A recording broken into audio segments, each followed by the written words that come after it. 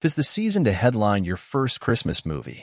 Natasha Bure, daughter of Full House and perennial Christmas movie star Candace Cameron Bure, is starring in A Christmas for the Ages, and EW has the exclusive first look at the film above, which marks Natasha's first leading role and first film on the new family network, Great American Family.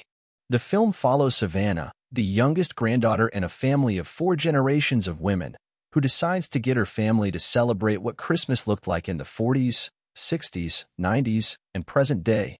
Candace executive produced the film, which is directed by Martin Wood and written by Jim Head. Anna Ferguson, Kate Craven, Cheryl Ladd, Anthony Timpano, Mariesa Crouse, and Dean Paul Gibson round out the cast. The cable network unveiled its full holiday lineup in October, presenting 20 brand new Yuletide films to get viewers into the holiday spirit. That includes My Christmas Hero, starring Candace as an Army Reserve doctor attempting to track down her family's military history. That film premieres ahead of her daughters on November 24th. Fellow Full House alum Lori Loughlin, as well as Chad Michael Murray and Matthew Morrison are some of the other Hollywood stars featured in this year's Jolly Good Times.